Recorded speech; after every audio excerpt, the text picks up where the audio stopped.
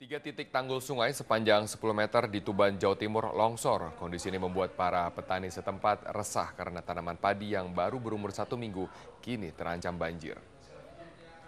Sejumlah petani yang khawatir akan gagal panen memilih bergotong royong memperbaiki tanggul. Mereka bekerja sama mengangkat sejumlah karung berisi tanah untuk memperbaiki tanggul. Tanggul sungai di Dusun Bongkol diketahui longsor sejak tiga hari yang lalu.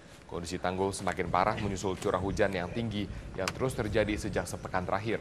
Para petani terpaksa memperbaiki tanggul secara swadaya karena jika harus menunggu bantuan pemerintah, mereka merasa akan memakan waktu yang lama. Petani juga sudah sangat khawatir melihat kondisi tanggul yang longsor, mengingat para petani baru saja menanam padi. Kini lebar tanggul kurang dari satu meter, dikhawatirkan akan jebol jika sewaktu-waktu air sungai meluap. Meski tanggul sementara hanya dibangun dengan material seadanya, para petani berharap perbaikan tanggul ini mampu mencegah ancaman banjir masa panen berakhir.